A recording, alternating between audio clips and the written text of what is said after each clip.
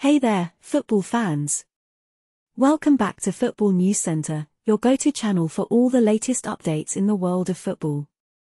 Today, we've got some exciting news for you regarding Wolverhampton Wanderers transfer plans. Wolves are looking to make some strategic moves in the January transfer window, with loan signings being their top priority. The club is aiming for a net zero transfer window to ensure they stay within the Premier League's profit and sustainability rules.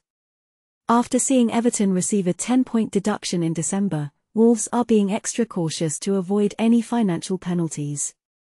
Last January, Wolves spent around £32 million on signings, but this time around, they are determined to rein in their spending. Despite expected financial losses of £65 million, the club has been performing exceptionally well in recent months, thanks in part to the signings made last year.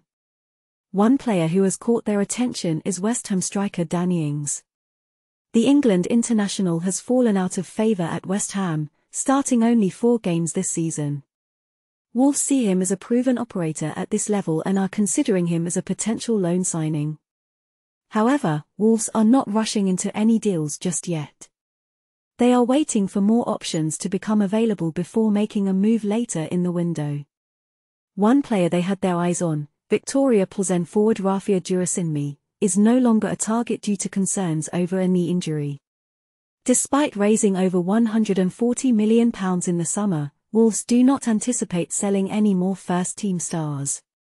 The squad is happy, united, and progressing under manager Gary O'Neill, who has guided the team to eight games unbeaten at Molineux.